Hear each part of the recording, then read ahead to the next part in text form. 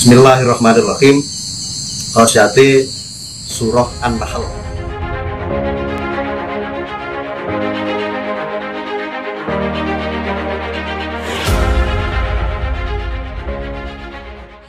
Assalamualaikum warahmatullahi wabarakatuh. Selamat malam kepada seluruh muhibbin perdunu bahwa pada malam hari ini kita akan membaca kitab Babon halaman 32 dan apa yang kita baca pada malam hari ini ini sekaligus juga saya ijazahkan kepada kalian semua. Semoga ada manfaat dan berkahnya. Bismillahirrahmanirrahim. Khosyati Surah An-Nahl. Surah An-Nahl lamun dan tulis nuli den deleh ana ing atase pagere sawah utawa tegalan mongko bakal rontok kabeh woh-wohan kang kang ana ing dalem sakjroning mengkono pager.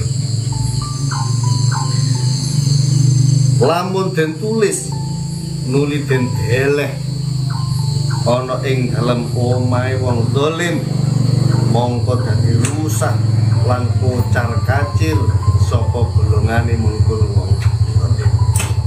Jadi ketika surah An-Nahl itu ditulis kemudian ditaruh di pagarnya sawah atau pekarangan maka buah-buahan yang ada di sawah atau pekarangan tersebut akan rontok semua.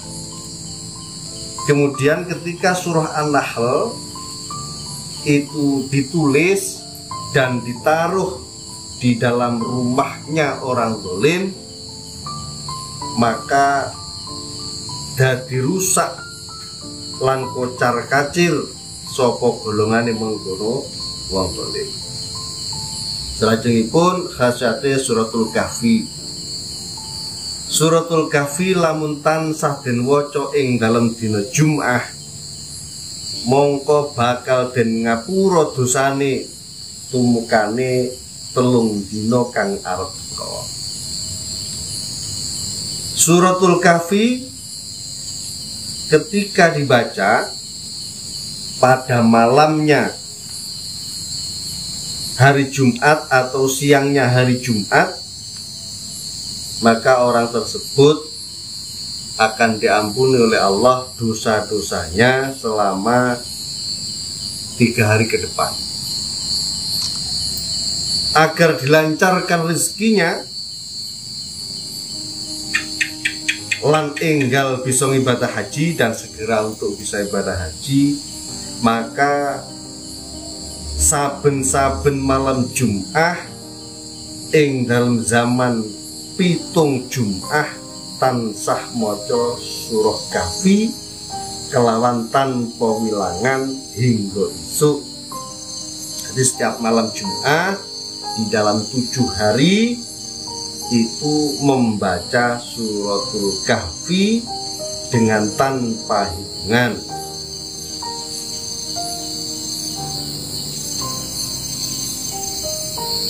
Jadi kalau ingin dilancarkan rezekinya dan disegerakan untuk bisa menunaikan ibadah haji, maka bacalah surah Yasin selama tujuh hari.